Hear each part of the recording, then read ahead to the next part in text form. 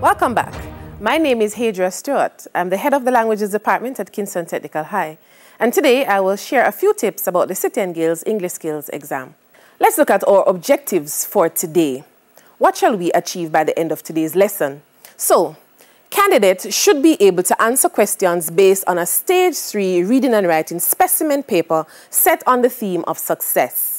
You should also be able to explain the various types of activities given on a Stage 3 Reading and Writing English Skills exam paper and identify the specific things that examiners look for in a Stage 3 extended writing task and the marks allotted to each. All right, let's do a recap of some very important points about this English Skills exam. So there are two major components of the exam. We have the speaking and listening component, all right? And it values one third of your overall marks. So one week before your exam, City and Guilds will send you your subtopic for the exam and you will prepare, all right? Then we get to the reading and writing exam, which values two-thirds of your overall mark. The exam is for two hours. Remember, take along your dictionary and thesaurus, and remember, have your blue and or black ink pen, absolutely no gel ink. Now at stage one, we and stage two, for the speaking and listening exam, you have a listening comprehension to do, followed by a group discussion and a reflection. At stage three, you have a listening comprehension, group discussion, reflection. Then you have your individual presentation, which would be about three to five minutes long, and then your peer assessment. It simply means that you're going to get a chance to assess one of your peers. Of course, we have to talk again about the grading system. Everybody is working for a, of course, you're working for a distinction. And you will have to score 80 to 100% in order to get that distinction. You believe you can, and I believe you can. For the merit, you have to score 65 to 84%. Pass is 50 to 64%, and failure 0 to 49. And remember, I've said before, the little things do matter. So make sure you have that plan. Make sure you write in paragraphs. Make sure you proofread your work. All of those grades will add up. Okay, so we have spoken about the City and Guilds word list. And if you have not yet received yours, go on the City and Guilds website at www.cityandguilds.com and access your list. So there is a word list for every stage.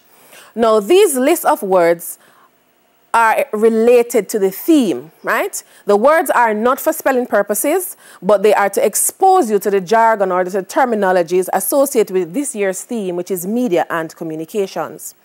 Candidates are encouraged to become acquainted with these words that they can use in their extended writing task. Remember, everybody will have to do one extended writing task. It is also very likely that the candidates will encounter some of these words in the source documents given in the examination. So you want to make sure that you put yourself a step. All right, now let's explore a specimen paper. We are going to look at a stage three specimen paper based on the theme success. Are you ready? All right. So we are looking at an article and it is entitled Helping Youth to Believe in Themselves. And this is document one. Remember, at the stage three level, you get three source documents. As I arrived at the Jamaica Conference Center in downtown Kingston, the room was already humming, packed with school children, teachers, and assorted officials. I squeezed into a lone chair by the door next to a petite young woman in a powder blue suit tapping gently on her cell phone. For the next hour or so, the doors were clogged with belated groups of despondent students and staff looking around for vacant seats. There were very few. Everything started on time, perhaps because the Governor General, Sir Patrick Allen, was there, and one cannot be late for him. And why was Sir Patrick present? It was a national youth conference supported by his own I Believe initiative, IBI. With his very considerable influence and an enthusiastic band of workers, IBI has made a great impact with all kinds of empowering activities for youth taking place. Sir Patrick told us that the idea took root in February 2009, and after careful planning, IBI launched in May 2011. The aim is not only to inspire and motivate, but to show young people their options. Even in these difficult times, the IBI seeks to give practical advice, as well as financial and moral support. As thousands make their way into the increasingly hazardous and uncertain world of unemployment, career development, and youth entrepreneurship, career development and youth entrepreneurship are at the forefront of IBI. IBI is all about believing in one's abilities. Its slogan says, there is nothing wrong with Jamaica that cannot be fixed by what is right with Jamaica. And we know that there is plenty right with Jamaica. Yes, we just need to harness it for progress. In his welcoming remarks, Sir Patrick Allen told his audience, with focus and hard work, you can do anything. And he is absolutely right. There are no shortcuts. This is true now more than ever wishing all our young people much success. So this is document one. Now let's look at a sample task the instruction says read the documents in the source document and answer the following questions. Now remember you are getting three source documents. You can choose to read all three at the beginning and I would encourage it so that you have a very good knowledge of what they are about. And then as you go through and answer the questions, then you go back and reread each of those documents. So this one says you're to read the documents and answer the following questions. Questions one to five are about document one. All right? So you zoom in now on document one. And this question values one mark. It says, and you're to tick the correct answer, as I've done there. The main purpose of the document is to A, advertise a student conference, B, promote a government initiative, C, review young people's options, D, discuss initiatives for work. Our answer is B, so we tick, and that's one mark. Next one says, Identify three, please pay attention to the details, they matter. Identify three features that the writer uses to make the document easier to read. And we know that this question is asking you for organizational features. So we talk about heading, images, and color. Now you were not able to see all of those because I put the information on the slides, but your source document will have all of those organizational features. Sample question. According to the Governor General, what is required to be successful? You get one mark for this answer, and it is focus and, and hard work. So make sure you have focus and hard work. The vocabulary in the first paragraph has been used to do which of the following? This question values one mark and it says tick, tick the correct answer. Is it to encourage students to be on time, to motivate and support young people, to show how important the conference is, or to give the reader a visual image of the event. And you will agree with me that D is the answer, so we tick D. Next one says, give two phrases. Focus on those keywords now. You're not being asked for sentences, you're being asked for phrases. Tick two phrases in the third paragraph, and remember we're talking about document one, which means to have a powerful effect. And this values two marks. So we look for the phrase, not a sentence. If you give the sentence with the phrase, you are not going to get the mark. So there were many phrases we, we could have chosen increasingly hazardous and inspire and motivate. And here is a little reminder. A phrase is a group of words that stands together as a single grammatical unit, typically as part of a clause or a sentence. A phrase does not contain a subject and a verb, and consequently, it cannot convey a complete thought. Please remember that. All right, so we move on now to source document two, and this one is a book review. Memoirs of a Country Girl by Dr. Sandra M. Palmer. This is the inspirational real-life story of a Jamaican country girl who dreamed of making her mother proud by becoming successful. This motivating account recounts the author's life from childhood, dreaming under a star apple tree to becoming a successful IT businesswoman, mother, and university lecturer with an earned PhD.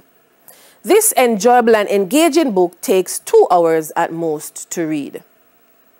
Sandra Palmer bases her life on her experience that no matter who you are, you can dream big. If you can dream it, you can do it. Her easy writing style creates the feeling of a conversation with a trusted friend about deeply personal but important details of her life with no area of limits. The stories and experiences will touch the emotions of anyone reading, keeping you hooked. Readers will eagerly turn each page as Sandra reveals her competitiveness at high school, her devastation at not being head girl, and her success over her rival. She relates her shock, embarrassment, and disappointment at failing her first attempt at the National Common Entrance Examination and her relief and joy at succeeding the following year. The huge motorbike accident which nearly cost her life and her university dream is a powerful tale of resilience. The absorbing accounts of her first Kingston job, of failing her first year at the University of the West Indies, and the miracle that saved her from dropping out will stir anyone to persevere. Overcoming the odds. After her graduation, she became a success as a sales professional, then as a female entrepreneur, competing mostly against males worldwide while demonstrating a gusty character to overcome the odds. Readers everywhere will also be inspired by her determination in her life-changing quest to complete her PhD. It is an emotional roller coaster with powerful lessons in perseverance.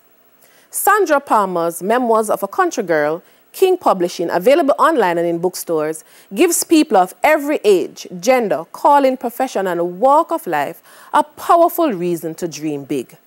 Her fascinating life story will inspire and give hope for generations to come. And this book review is written by Esther Williams, and it was written on the 29th of October, 2017.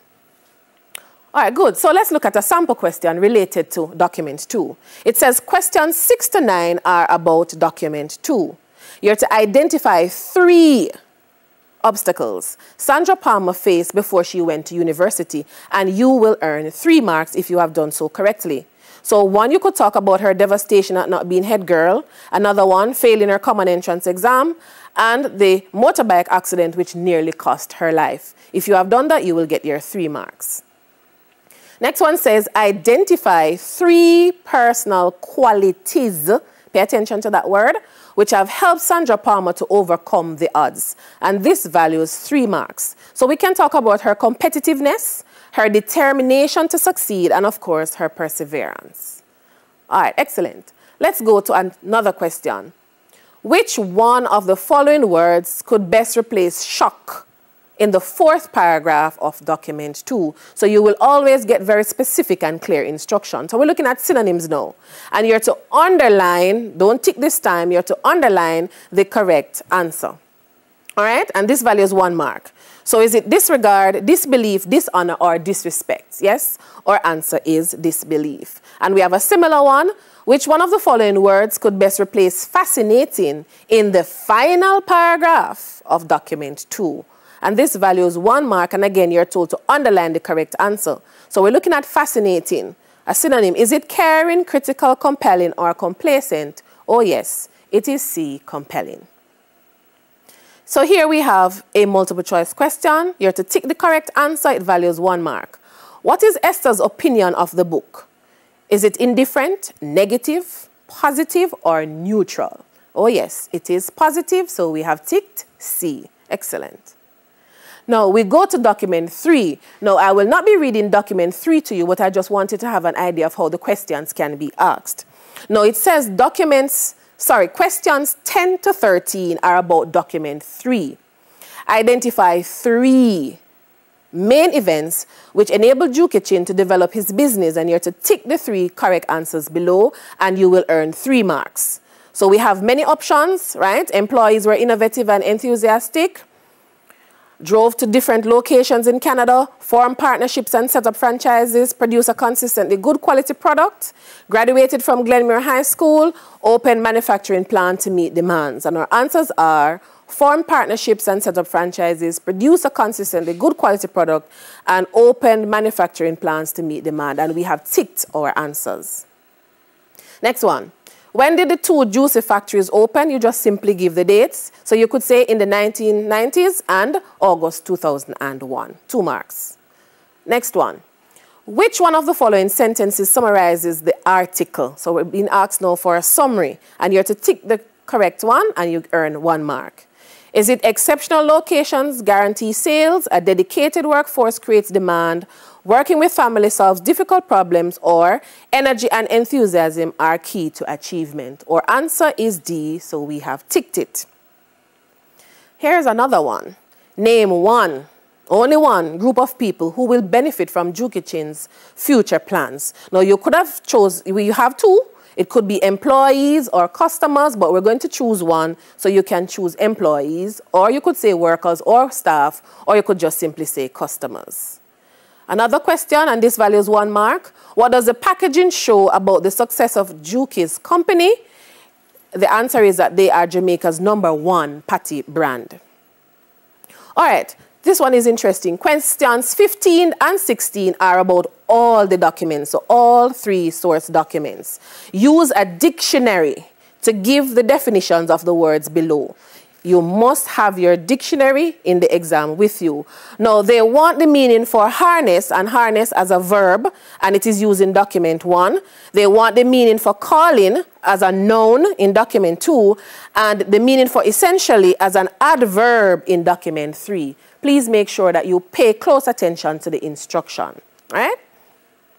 Another question says, which documents are about people who have developed successful businesses?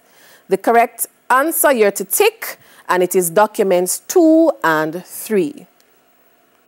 Okay, questions 17 and 18 are about grammar and punctuation. So this is the one about grammar, and you are to circle the grammatical options. At present, there were, or is, or are seemingly endless possibilities for Levi Roots' popular brand, and she, or he, or it continues to bring the sunshine of the Caribbean to all its ventures while popularizing the spicy flavors of his Jamaican heritage and remaining true, truest, truly to his recipe for success. And the answers are circled, so it's R, he, and true, and you would have earned three marks. Good? This one says you're to insert. That means you are going to put in, okay?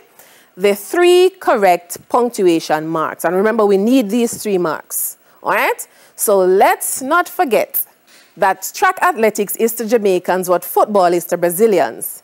Usain Bolt, Jamaica's most successful athlete, has always put his country's success at sprinting down to the passion of its fans. Their expectations have been his motivation. So we have added the apostrophe right here, right, between the T and the S, so that's the contraction for let us. Then we have added the full stop after Brazilian, so of course Usain has to start with a capital U, and then we have the apostrophe again between the Y and the S to show that the success belongs to the country. Good? All right, so you have done very well. Give yourselves a clap. All right. Now, the extended writing task for, for stage three values 35 marks. And you've seen this one before. Write an article about someone successful that you admire. And here are your bulleted points now. You must include information about who the person is what makes a person successful? Why you admire this person? You are to use 300 to 400 words. You must write at least 300 words. And look at this. Do not use any information from documents one, two, or three. So that means you have to come up with your own successful person. Please pay attention to that instruction. Now let's quickly look at the rubric for the extended writing activity. Let's look at how you can earn your marks, okay? So you earn maximum of two marks if you use a plan that is appropriate and includes all the key points. And remember that you're not going to write a rough draft now. You're going to jot down your notes under each of the bulleted points. You get one mark if you write at least 300 words. Then we're going to look at the content, the type of information that you put in your extended writing. You can earn three marks if you write an article about someone successful that you admire and include all the bulleted points. Who the person is, what makes the person successful, and why you admire the person. You get one mark if your writing is legible throughout. That means it is clear and easy to read. Of course, we've spoken about this so many times because it is so important. You get one mark for writing in paragraphs. And remember, you go in a new line and you move away from the margin to indicate that you're starting a new paragraph. All right? You get two marks now for format and structure right? And they must be appropriate for an article. So remember, your article is going to have a headline. You remember, you're going to write the name of the writer, and you can add the date if you so choose. And you can include some of the organizational features that we have spoken about. Your tone. Your tone is your attitude towards what you're speaking or writing about. So you can earn a maximum of three marks, right? If your tone, your expression, and your vocabulary are appropriate for an article. Three marks if your writing is clear and coherent. Three marks now if the information is logically sequenced throughout the article. You can earn an additional three marks for correctly for using a full range of sentence structure. So you have simple sentence, compound, and at least one complex sentence throughout. Oh yes, spelling is extremely important. You can earn a maximum of four marks for correct spelling. Correct spelling to stage three of common words and relevant keywords, including those from work, study, and everyday life. And four marks for punctuation. Remember, we spoke about that. So your capital letters, your end punctuation marks, your commas, your apostrophe. And one mark is going to be deducted if you write in full caps. All right? Four marks maximum for grammar and one for proofreading. Practice, practice, practice. I will always say it because it works, right?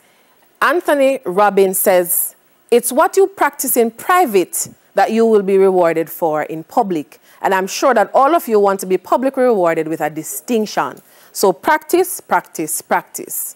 Continue to prepare for your exams. That's all the time we have for today. Thanks for watching. All the best.